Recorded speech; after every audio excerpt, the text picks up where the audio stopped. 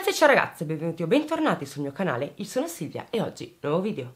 Come al solito ragazzi vi ricordo che se avete piacere potete anche seguirmi su Instagram, ma soprattutto vi ricordo anche che è uscito il mio shop, trovate tutte le informazioni qui sotto nell'info box. Detto questo, andiamoci dentro col video.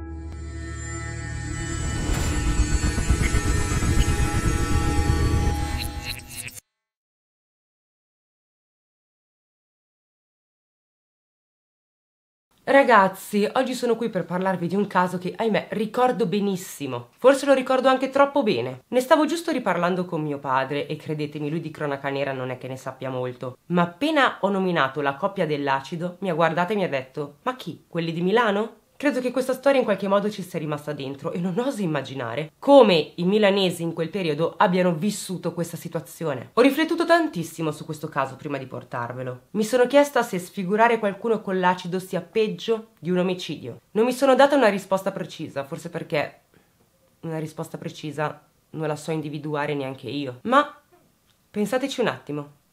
State uscendo di casa. Qualcuno vi sta aspettando appena dietro l'angolo, ma voi non lo sapete. Camminate tranquilli fino a quando non vedete per un microsecondo un soggetto che vi lancia in faccia qualcosa, un liquido. Di colpo non vedete più. Sentite un bruciore immenso, vi strappate via i vestiti, correte, chiedete aiuto. Poi inizia il calvario la guarigione e le mille operazioni per riuscire a ricostruire la vostra faccia, perché è quella che vi hanno portato via. E se vi portano via la faccia, vi portano via anche l'identità. Se vi portano via la faccia, vi cambiano la vita irrimediabilmente. No, non c'è un omicidio in questa storia, ma tutte le aggressioni messe in atto da Alexander Butcher e da Martina Levato sono terribili. Sono proprio loro la coppia dell'acido. Ma andiamo con ordine come al solito. Siamo a Milano ed è il 2014. Pietro Barbini nei giorni precedenti a Natale viene contattato più volte da un sedicente corriere che deve consegnargli un pacco regalo. Questo corriere dice a Pietro di presentarsi la sera del 28 dicembre in via Giulio Carcano, a Milano. Quel ragazzo però sente che c'è qualcosa che non va in queste chiamate. Ha una brutta sensazione, non si sente tranquillo. Chi mai gli avrebbe fatto un regalo? Lui non ne ha proprio idea. Pietro dunque chiede a suo padre di accompagnarlo con la macchina in via Giulio Carcano, perché insomma non si sente al sicuro. Il padre di Pietro, che di nome fa Gherardo, accetta di accompagnare suo figlio. Quindi entrambi salgono in auto per raggiungere via Giulio Carcano. Il padre dunque lascia suo figlio davanti al palazzo in cui gli hanno detto di recarsi. Pietro quindi si avvicina all'ingresso del palazzo e cerca tra i citofoni il nome della ditta di spedizioni. Ci resta anche qualche minuto lì Pietro perché proprio non riesce a trovare il nome di questa ditta. Il padre di Pietro, Gherardo, nel frattempo va a posteggiare la macchina, non troppo lontano da lì, e vede chiaramente due figure incappucciate che si recano verso suo figlio. Sono un ragazzo e una ragazza, e la ragazza stringe in mano dei contenitori. Si avvicina dunque a Pietro, lo chiama, lo fa voltare e poi gli lancia addosso qualcosa. Il ragazzo si porta immediatamente le mani al volto. Il padre di Pietro, quindi Gherardo, esce dalla macchina e corre incontro a suo figlio cosa diavolo gli hanno lanciato in faccia. Dovete sapere che in questa situazione Pietro ha in tasca ben due cellulari.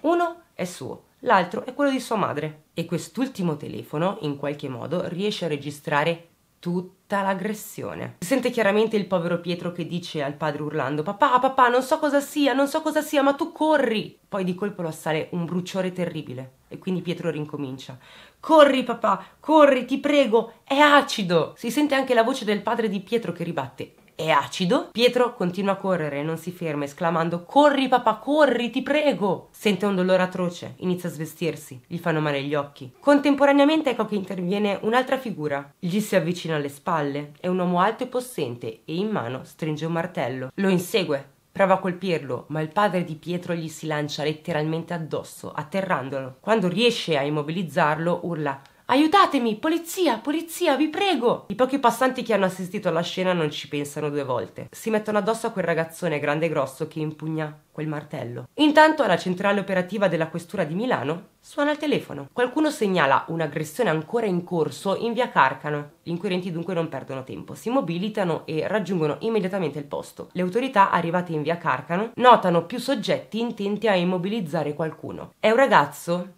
che ha con sé un martello. Quel ragazzo si chiama Alessandro Butcher, detto Alexander, viene quindi portato in questura e tratto in arresto poco dopo. Intanto a terra continua ad esserci il povero Pietro. Si alza a fatica, entra in un bar, prova a sciacquarsi la faccia, Poi, finalmente, giunge l'ambulanza. Viene portato al reparto dei grandi ustionati del Niguarda e, fin da subito, le sue condizioni appaiono molto gravi. Pietro ha ustioni sul viso, sulle braccia e sulle gambe. Ma chi è Pietro?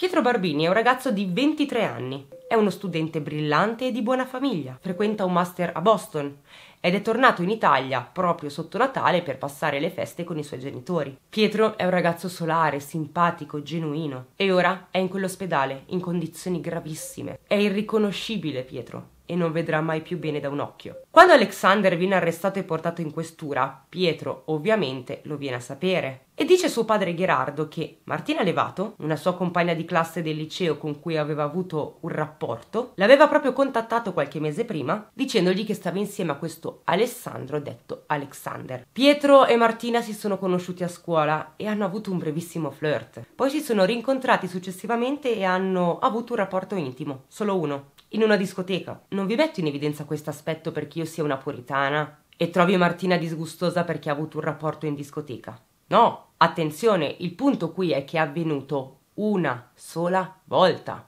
Una! In questo modo comunque Pietro riesce a collegare Alexander a Martina Levato. Martina dunque viene condotta in questura e chiaramente dà una versione che non si sposa affatto con quella di Alexander. La svolta per gli inquirenti arriva quando il padre di Pietro Barbini, ossia Gerardo, uscendo dalla questura, riconosce chiaramente Martina. È stata lei a lanciare addosso a suo figlio l'acido. Ne è sicuro? La ragazza infatti viene proprio arrestata quella notte. Ma chi è Martina Levato? Ebbene, la ragazza è una studentessa della Bocconi ed è figlia unica, quindi i suoi genitori hanno fatto mille sacrifici per farla studiare. Da qualche mese sta con Alexander, un ragazzo totalmente diverso da lei. Alexander è sposato con una modella croata, ma si sono lasciati. È un ragazzo che va molto in palestra, assume anabolizzanti, infatti è molto attento al suo fisico, ma non solo, è anche molto attento ai soldi.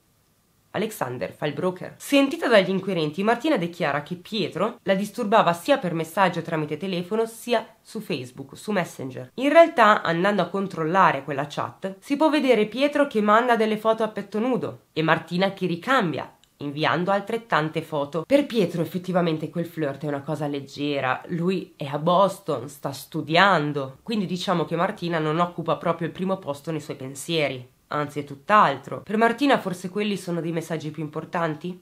È probabile. E peraltro quei messaggi danno incredibilmente fastidio ad Alexander, il suo nuovo fidanzato, a cui racconta tutto. La coppia quindi sembra aver agito per punire in qualche modo Pietro Barbini. Intanto le autorità si recano a casa di Alexander per effettuare una perquisizione e, in men che non si dica, trovano numerosi flaconi di acido muriatico, un grosso martello, dei bisturi, armi da taglio di vario genere, spray a peperoncino, felpe col cappuccio, baffi finti e parrucche. Nasce una domanda più che ovvia. Che cosa ci faceva Alexander con tutto quell'armamentario in casa sua? Martina e Alexander vengono incriminati per il reato di lesioni aggravate a scopo intimidatorio e vengono processati per direttissima l'8 gennaio del 2015. In questo caso Martina si dichiara colpevole e difende a spada tratta il suo compagno Alexander. Lui in realtà non ha fatto proprio niente. Durante il processo la coppia in aula appare indivisibile. La prima cosa che salta all'occhio è lo sguardo di intesa che c'è tra i due. Poi si nota al loro labiale che mima la parola ti amo, ma soprattutto la frase che a mio parere ha molto significato per questo caso è la seguente. Ci siamo solo noi due. Io non ti lascio sola. Alexander e Martina in pratica non vedono niente del mondo circostante. Per l'appunto ci sono solo loro, contro tutto e tutti. Gli inquirenti comunque continuano ad indagare ed è a questo punto che c'è un colpo di scena decisivo. Emerge una figura amica della coppia, più precisamente un complice, il 32enne Andrea Magnani. Lui fa il bancario e conosce Martina. Dovete sapere che quando Martina viene arrestata e quindi interrogata dai carabinieri, prova a crearsi un alibi per la notte in cui è avvenuta l'aggressione ai danni di Pietro. Agli inquirenti in realtà dice che lei non poteva essere in via Carcano perché era a casa proprio di Andrea Magnani. Quest'ultimo viene immediatamente convocato per confermare l'alibi di Martina e Andrea l'alibi di Martina lo conferma anche. Il fatto è che gli inquirenti a un certo punto guardandogli le mani notano delle strane bruciature gli chiedono dunque spiegazioni e Andrea sostiene di essersi fatto male mentre faceva dei lavori di ristrutturazione. Ovviamente nessuno dei poliziotti presenti ci crede. È chiaro il modo in cui Andrea si sia procurato quelle ferite e per le autorità questo punto diventa lampante. Quell'uomo nasconde qualcosa. Gli inquirenti dunque lo convocano più volte e Andrea Magnani non è certo un esperto. Non sa come gestire una quantità così massiccia di interrogatori in così breve tempo. Quindi, ad ogni convocazione, cambia la sua versione. È chiaro che Andrea sia nel panico, non sa cosa diavolo dire. Di conseguenza inizia a inventarsi delle scuse davvero, davvero improbabili. La pressione che subisce Andrea, giustamente dagli inquirenti, alla fine lo porta a confessare. Andrea Magnani dice che durante l'aggressione ai danni di Pietro era presente, ma era convinto insomma che Alexander e Martina volessero spaventarlo, mica sfigurarlo con l'acido. Quando gli inquirenti gli chiedono cosa indossasse quella notte, Andrea risponde che indossava un giubbotto giallo. E in effetti viene anche ripresa da una telecamera di videosorveglianza di via Carcano dove corre lungo il marciapiede la sera del 28 dicembre 2014. Viene dunque arrestato anche lui con l'accusa di complicità per aggressione aggravata ai danni di Pietro Barbini. Ma Pietro Barbini non è l'unica vittima della coppia dell'acido. Gli inquirenti ancora non sanno nulla del rapporto che lega Alexander e Martina ai loro crimini. Il processo per direttissima solitamente dovrebbe concludersi con una sola udienza e invece questo processo va avanti per ben due mesi. Se Alexander e Martina vengono dichiarati colpevoli per lesioni gravissime e condannati a 14 anni di reclusione. Pietro Barbini inoltre ottiene un risarcimento di oltre un milione di euro. La verità però qui è un'altra. Siamo solo all'inizio di questa assurda storia. Le autorità devono capire come si siano conosciuti, o meglio, come si siano rivisti Alexander e Martina. I due già si conoscevano perché erano stati in classe insieme durante il liceo. Alexander e Martina dunque si rivedono in discoteca nel 2013. È vero, Alexander è ancora sposato, ma con sua moglie le cose non vanno affatto bene. A lui piace andare a ballare in discoteca. Il ragazzo però non ama frequentare discoteche qualsiasi, bensì frequenta le discoteche in cui si balla il latinoamericano. Ovviamente durante queste serate incontra e conosce varie ragazze e incontra nuovamente anche Martina. La relazione con Martina continua per quasi un anno e i due non sono fidanzati, fanno solo cose assieme. Dopo circa un anno però le cose cambiano. I due sono a casa di Martina, hanno passato la notte insieme e Martina se ne esce fuori all'improvviso dicendo ad Alexander Sai, io vorrei 5-6 figli da te. Alexander lì per lì si ritrae. È vero, si conoscono da un po', ma non hanno mai parlato della loro relazione in termini amorosi. Di conseguenza questa richiesta di Martina lo fa vacillare. Le dice che non è il momento, che deve finire gli studi. Per Alexander questo è un modo per dire a Martina guarda, non ti amo, quindi da te un figlio non lo voglio. E fin qui direi che la situazione è chiara, limpida e cristallina. Il punto preoccupante sta nel fatto che appena Alexander esce da casa di Martina e inizia a riflettere sul suo desiderio di maternità, si rende conto così di colpo di essere innamorato di lei e di volere un figlio. Verso la fine di aprile dunque Alexander e Martina si mettono insieme. A questo punto sono ufficialmente una coppia. Quando Martina ed Alexander mettono in atto l'aggressione contro Pietro, Martina è già in dolce attesa aspetta già un bambino. Ma emerge anche dell'altro, infatti come vi ho detto poco prima, Andrea Magnani, il complice della coppia, è quello che ha vuotato il sacco prima di tutti. Agli inquirenti, infatti, l'uomo comincia a raccontare fatti antecedenti all'aggressione ai danni di Pietro Barbini. È avvenuto a dicembre, ma la verità è che la coppia dell'acido non ha colpito solo lui. Non ha sfigurato solo lui. Ci sono altre due vittime che la coppia ha colpito prima di Pietro. Gli inquirenti a questo punto cominciano a tessere una trama all'incontrario, dunque anche noi facciamo un balzo indietro. Torniamo al 2 novembre del 2014. La vittima è Stefano Savi. Stefano è un gran bravo ragazzo. Ha 25 anni, ama divertirsi, va spesso a ballare ed è un universitario. Studia alla Bicocca Economia. Stefano abita nel quartiere Quarto Cagnino, a Milano. La sera del 2 novembre il ragazzo esce con i suoi amici. È una compagnia molto unita quella di Stefano e tutti i suoi amici si vogliono un gran bene. Quella sera tutto procede come al solito, non c'è niente di diverso rispetto alle altre uscite degli altri weekend. Il ragazzo quindi va a bere qualcosa e poi con la sua compagnia va in discoteca. Arrivano le 5 del mattino ed è Stefano ad accompagnare a casa alcuni dei suoi amici, arrivando sotto casa sua alle 5.20. Stefano quindi scende dalla macchina, si dirige verso il cancello e lo apre per poter entrare e parcheggiare la macchina. Poi di colpo sente qualcuno che sta camminando dietro di lui, si gira distinto e vede chiaramente una persona che gli lancia in faccia qualcosa. Stefano prova a colpire quella persona, ma si rende conto di non veder più quasi nulla. Il viso gli brucia terribilmente, quindi si lancia nel suo giardino, strappa delle erbe e prova a passarsela sugli occhi col fine di ripulirsi un minimo e tornare a vedere qualcosa, ma non ce la fa. Quindi si alza e in qualche modo fa le scale esterne di casa sua per eh, chiamare i suoi genitori. Bussa alla porta, suona il campanello e a un certo punto i suoi genitori ovviamente gli aprono e appena si trovano davanti Stefano si preoccupano da morire. quello non è loro figlio, è irriconoscibile. Ha la faccia totalmente nera, le mani sono nere, inizia a gonfiarsi ed emana davvero un odore molto molto strano. Stefano quindi entra in casa e chiama un amico che gli consiglia di andare al centro Grandi Ustioni a Niguarda per fare una valutazione dei danni che ha subito. In questo caso però il liquido utilizzato non è solo acido, è di colore nero, oleoso ed è così tanto corrosivo da danneggiare anche la carrozzeria della macchina di Stefano. Nella zona purtroppo non ci sono telecamere che possano chiarire le dinamiche dell'aggressione, ma soprattutto questa aggressione Rimane senza movente. Stefano non ha idea di chi possa avergli fatto questo. Intanto al niguarda Stefano non vede più. Ha un orecchio completamente sciolto, così come una parte del naso. I medici ahimè gli dicono che non c'è molto da fare. L'ustione è così tanto estesa e profonda. Insomma, non sanno neanche loro se riusciranno a tamponare in qualche modo la situazione. In ospedale l'iter chirurgico di Stefano non è solo lungo, ma è anche complesso. Su di lui viene utilizzata una pelle artificiale chiamata integra. Poi si sottopone ad un trapianto di pelle che dura 9 ore. Come già vi ho spiegato, gli inquirenti hanno capito che Pietro Barbini è stato aggredito e quindi sfigurato perché era l'ex ragazzo tra mille virgolette di Martina. Ma perché Stefano ha subito questo trattamento? Lui neanche la conosce Martina.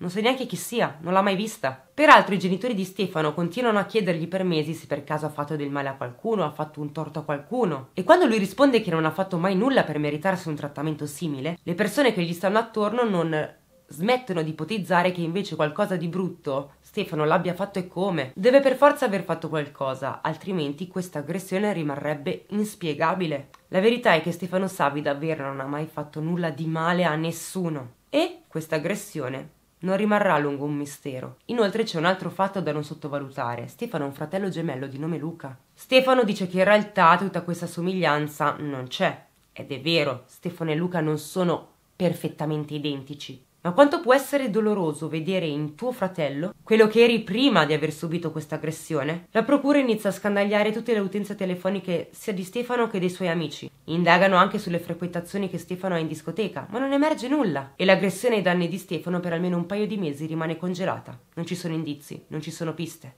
Poi però ecco che torna Andrea Magnani che fa altrettante dichiarazioni. L'uomo racconta che tra il 10 e il 20 ottobre lui, Martina ed Alexander si sono recati a fare delle spedizioni in una discoteca di Milano chiamata Il Divina. Cercano un ragazzo che ha avuto con Martina un fugace incontro in discoteca. Quindi in effetti i tre si dirigono a Il Divina per cercare un bersaglio ben preciso, che però non c'è.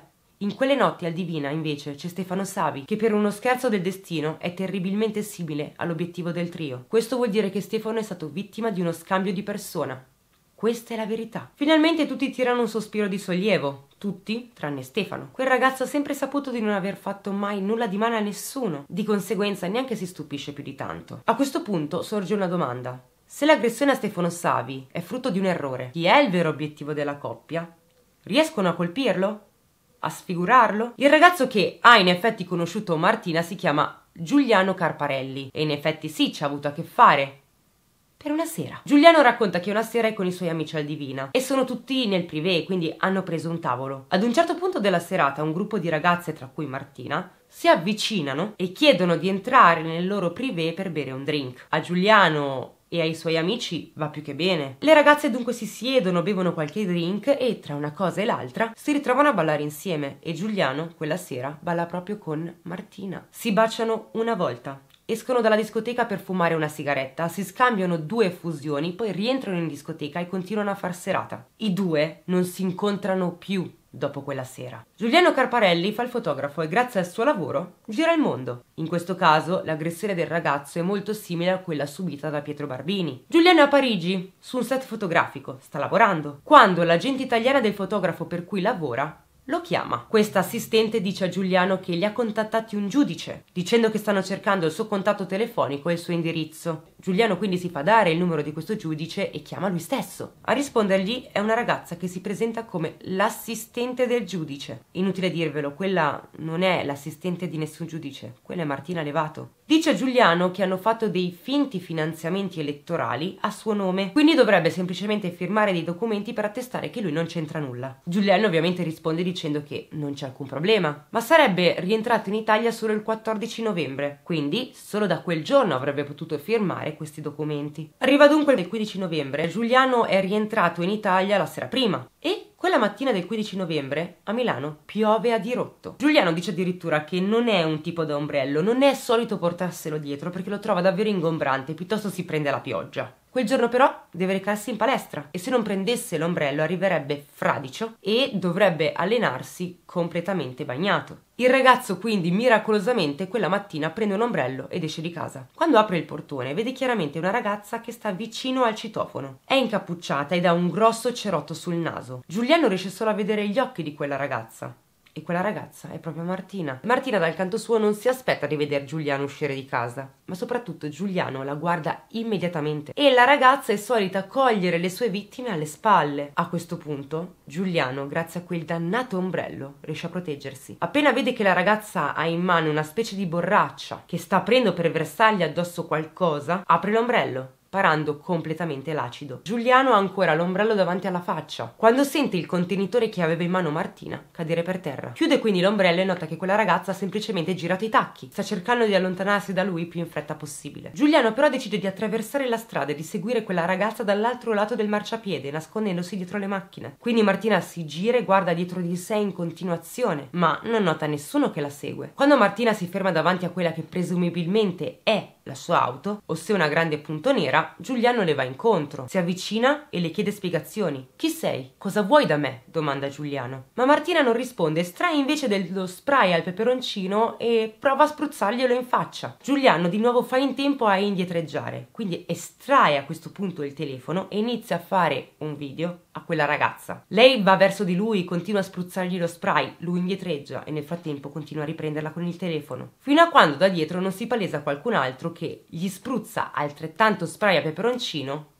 da dietro sul collo. Giuliano si gira e vede davanti a sé un uomo alto circa 1,90 m, già pronto a inseguirlo con un altro spray a peperoncino, al che Giuliano capisce che forse è il caso di scappare. Comincia dunque a correre e purtroppo perde il cellulare che aveva in mano. Subito dopo l'accaduto l'unica cosa che resta in Giuliano è la confusione. Perché hanno provato a sfigurarlo, ma soprattutto chi ha provato a sfigurarlo? Il ragazzo chiama tutte le sue ex per sincerarsi che vada tutto bene e che non ci sia alcun astio o rancore represso. Ma alla fine neanche Giuliano riesce a spiegarsi il motivo di questa tentata aggressione. Inoltre teme a ragion veduta che possano tornare a colpirlo. Quindi inizia a guardare tutti come ipotetici nemici. Diventa estremamente paranoico, non riesce più a vivere tranquillo. Ha perennemente l'ansia perché in effetti non sa quante siano le persone che vogliono fargli del male. Le uniche persone di cui Giuliano si fida sono i suoi amici e infatti per un periodo non dice a nessuno dove dorme. Non sta più a casa sua, bensì va ospite da dei suoi amici, cambiando casa ogni giorno. Giuliano si sposta in continuazione proprio per non farsi scoprire. Esce di casa col casco integrale, sale in macchina, si toglie il casco, va a lavoro e infine va da qualche suo amico a passare la notte. Si sente in un videogioco di sopravvivenza, perché è così che vive. Dopo questo colpo fallito, però, la coppia non demorde. I vicini di casa descrivono veri e propri appostamenti nei pressi della casa di Giuliano. Tutti li descrivono come persone strane,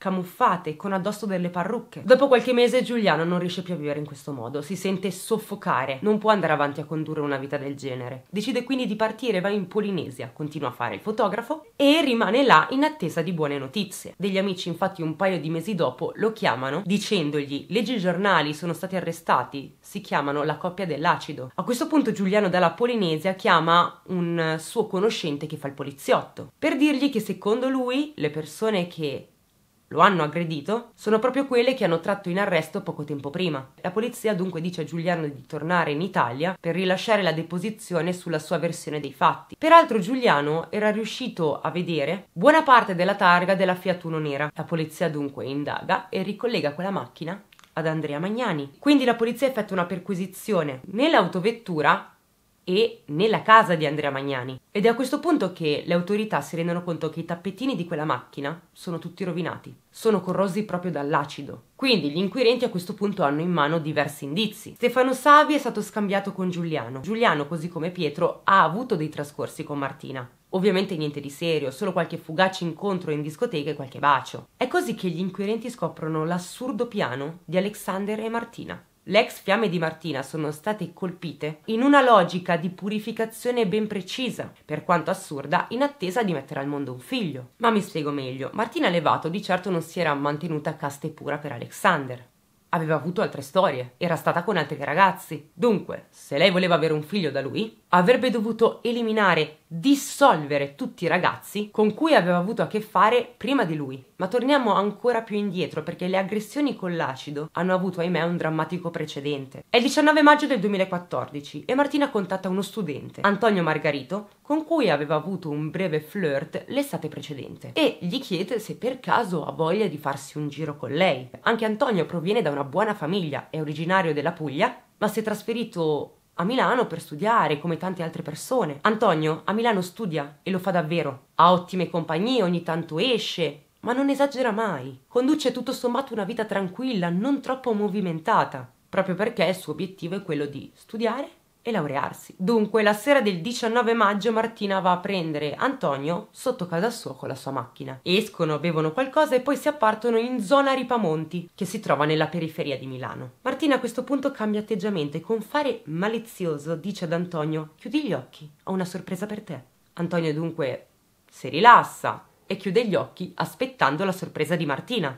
Quest'ultima però estrae un coltello con cui cerca di virarlo. Il ragazzo ha fortunatamente dei riflessi pronti, quindi riesce a proteggersi, a ripararsi e Martina alla fine lo ferisce alla mano e alla coscia. A questo punto Antonio scappa e la prima cosa che fa è recarsi all'ospedale per andare a farsi curare. Intanto però Martina chiama le forze dell'ordine e denuncia Antonio per tentata aggressione intima. In questo momento quindi Antonio è terribilmente spaventato principalmente per due motivazioni. La prima è sicuramente l'orribile accusa di aggressione intima in una situazione in cui quell'aggredito era lui, ma soprattutto anche Antonio non riesce a spiegarsi l'aggressione. Come e perché sta accadendo proprio a lui? Antonio passa dei mesi con l'accusa di violenza sulle spalle. Poi il tutto viene collegato al contesto degli agguati perpetrati dalla coppia dell'acido e da Andrea Magnani. L'incubo di Antonio arriva a conclusione nel settembre del 2015, quando viene accertata l'infondatezza delle accuse di violenza da parte di Martina. È così che finalmente la figura di Antonio cambia, non è mai stato un carnefice,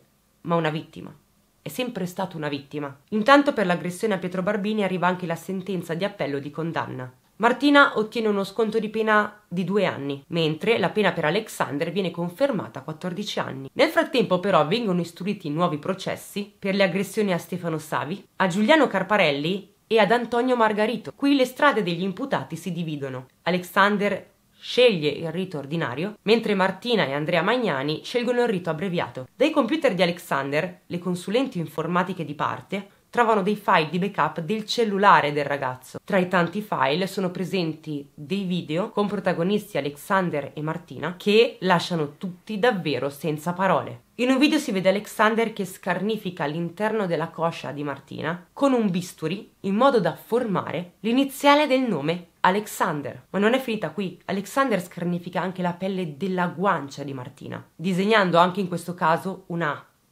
le occupa mezza faccia quella scarnificazione. In un altro video Alexander obbliga eh, Martina a bere qualcosa. Inizialmente non si capisce cosa sia, poi però si sente Alexander che dice bevi, è il piscio di un dio. Infine c'è un ultimo video in cui si vede Alexander tirare il collo ad una gallina. Ma perché l'ha fatto?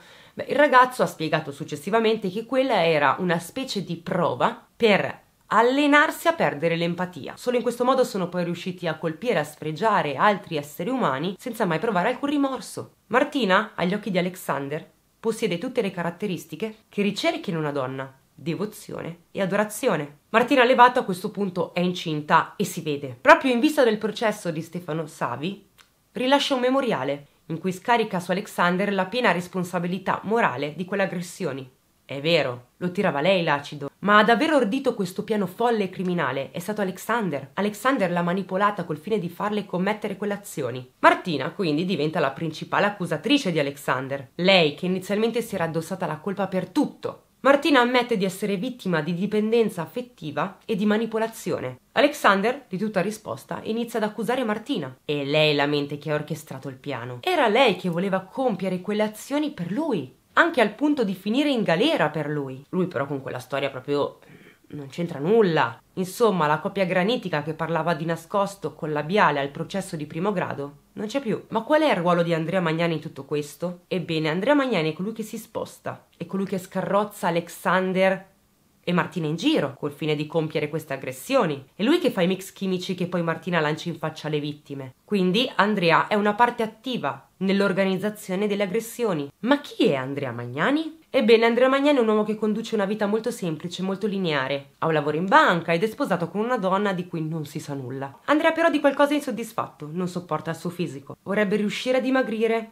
Ha provato innumerevoli diete, ma non è mai riuscito a raggiungere alcun risultato. Ed è qui che entra in scena Alexander. A far conoscere i due è Martina, quindi Andrea inizia ad allenarsi con Alexander. In realtà il ragazzo gli fa proprio da personal trainer sottoponendolo a degli esercizi estenuanti. Ma non è finita qui. Alexander dà anche una dieta rigidissima ad Andrea, che deve riuscire a mantenere. Niente sgarri, eh? Spesso gli fa addirittura saltare la cena con la scusa del andiamo a correre assieme. Quindi talvolta Andrea neanche mangia perché rientra in casa che è tardissimo ed è distrutto, non ha neanche la forza di mangiare. E qui avviene qualcosa perché Andrea si rende conto che sta riuscendo a dimagrire. Quindi si mette totalmente nelle mani di Alexander. Diventa per lui un esempio da seguire. Durante il processo di Stefano Savi emerge che quel povero ragazzo è stato aggredito per sbaglio semplicemente perché Martina quella sera non era presente. Lei non avrebbe mai sbagliato, non si sarebbe mai confusa, perché tra Stefano e Giuliano ci sono 20 cm di differenza in altezza. Vuol dire che uno è alto 1,70 m e l'altro è alto 1,90 m. È vero, in egual modo, che hanno dei tratti facciali che li rendono molto simili. Viene inoltre trovata una lista di nomi che, secondo il piano di Alexander, avrebbero potuto essere le prossime vittime. Su quella lista ci sono scritti nomi e cognomi di persone che avevano avuto a che fare con Martina. Durante il processo, peraltro, l'avvocato di Alexander gli dice che sono riusciti a recuperare parecchi file dai suoi computer. Quindi, se per caso gli vengono poste domande rispetto a dei video, delle foto o a dei messaggi, dovrebbe rispondere in modo sincero. Cosa che, indovinate, Alexander non fa. Il PM infatti gli chiede: Alexander, ha mai scarnificato la coscia e la guancia di Martina? Ha mai fatto questo gesto? Alexander puntualmente risponde: Io? No, mai, ma non mi permetterei mai, eh? Ma stiamo scherzando? Assolutamente no. Altra domanda. Ehm, lei, ehm, per caso, ha mai fatto bere la sua pipì a Martina? Altra risposta di Alexander. No, ma io queste cose non le faccio, ma stiamo scherzando. Assolutamente no, nel modo più assoluto. Altra domanda.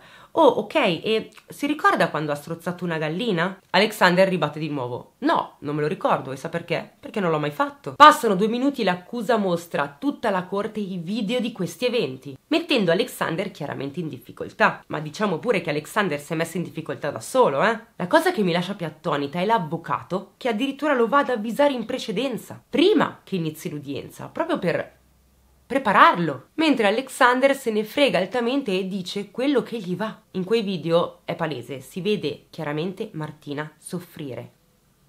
Basta guardare la sua faccia. Non viene obbligata con la forza, attenzione, ma con la manipolazione. Si fa quindi scarificare la faccia, la coscia, beve la pipì di Alexander, inizia a dar credito a ogni sua idea. L'unica opinione che conta è quella di Alexander. Nella perizia psichiatrica, Alexander e Martina vengono raffigurati come una coppia che si integra in modo simmetrico e armonico in relazione al piano criminale che portano avanti. Entrambi i soggetti presentano tratti manipolativi ed egocentrici. Nessuno dei due quindi manifesta un vero e proprio ruolo dominante, anche se a mio parere il ruolo dominante ce l'aveva Alexander. Ma dalla perizia emerge che agiscono su un piano paritario, ognuno con caratteristiche proprie. Dunque i due avrebbero agito assecondando le loro caratteristiche. Da una parte c'è Alexander, con i suoi tratti di sadismo, ossessività e tendenza al controllo e al potere. Dall'altra parte invece c'è Martina, che ha una personalità con tratti borderline. La ragazza avrebbe soddisfatto il bisogno di stare a fianco ad una figura che in un certo senso le garantiva un riscatto sociale, una vita forte, una vita intimamente libera, inserita chiaramente in un ambiente di successo. Stefano Savi credo sia l'essere più forte che io abbia mai sentito parlare. Dice di essere arrabbiato con la vita, non con loro.